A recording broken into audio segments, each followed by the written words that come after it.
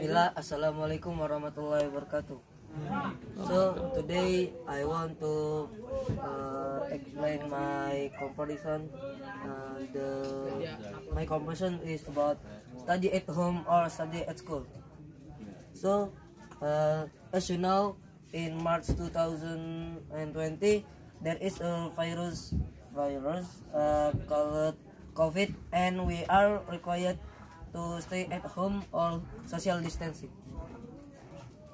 And uh, so in uh, study at home when studying at home most student usually don't pay attention to the teacher who is delivering mater material on the screen because many stud student open the game or uh, sometimes student don't understand and uh, study at school.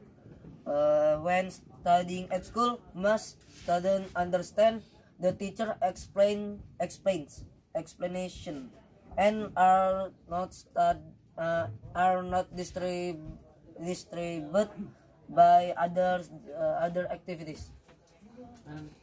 Uh, and study at school. If you study at school student is can usually understand what the teacher is teaching and can ask can ask the teacher anytime. When we study at home usually uh, we can look for material from internet but sometimes we also don't don't understand what is on the internet.